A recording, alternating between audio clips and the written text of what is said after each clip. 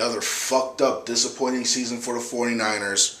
Game over, man. Game over. Rams win 25 to 17. Uh, first off, congratulations to the Gateway Gang. Um, shout outs, uh, Paulie Seed, uh, Big Game 1190 Rams, Engar Aletta, uh, Show on Turf, uh, rest of the guys in the Gateway Gang. Um, good game. You guys made the plays when you needed to, and we kept shooting ourselves in the foot. I can go on here and make excuses or whatever, but you obviously wanted it more, so congrats to you guys, and um, good luck against the Seahawks next week. Now, I'm I'm pretty much going to keep this short because I really don't feel like going too much into the game, but I mean, Troy Smith tried, but he can only do so much. He made a couple good plays, but nothing special. Um, passed for under 50%. Alex Smith came in. He wasn't really effective, even though he made a couple plays. But regardless, I mean, regardless, I mean, there is just too much uncertainty at quarterback.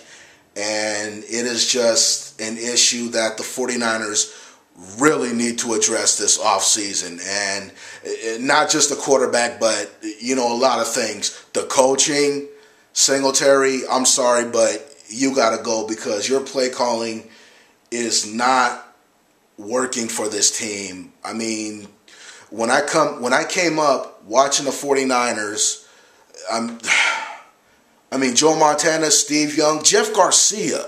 I mean, I mean, need I say more? We had quarterbacks that, and we always had a, a pretty solid running game, but we had quarterbacks that can make plays with the arms. And right now, I don't see it. Not with Alex Smith, not with Troy Smith, not with David Carr, and not with Nate Davis. Well, nothing with Nate Davis at least yet, but I mean, this team just has a lot of issues, and it's been, it's pretty much been the story of the season. So I'm not going to sit here and make excuses. Niners are out of it for the eighth straight year. Am I disappointed? Oh, you better believe it, because I fucking hate when the Niners lose. When they lose, it just fucks up my day. But in a sense, I'm kind of relieved that as bad as the season that we've had, I'm just glad it's over. I mean, yeah, um, the postseason would have been nice. I wouldn't have been tripping if we were seven and nine and won the division because it is what it is. But I mean, really, basically, I wouldn't have been surprised if this team was going to be one and done, which probably was going to happen anyways. Because, you know, there's no uncertainty at quarterback. Um, there's still issues, you know, with the running backs, even though I don't think they're the problems. The offensive line is inconsistent. And, you know, other than linebackers in the run D, our secondary, I mean, this is just a bad team, and I'm not afraid to admit it. You know, it's just a team going through growing pains, and that's pretty much all the answer I got.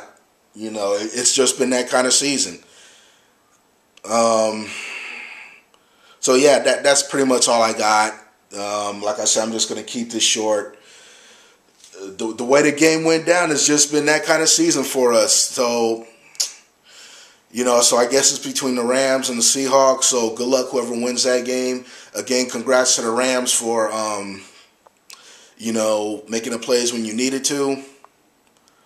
And anyway, we, we, we don't deserve to be in the postseason. We just don't. So for the eighth straight year, I have to say it, there's always next year. And changes are going to be made.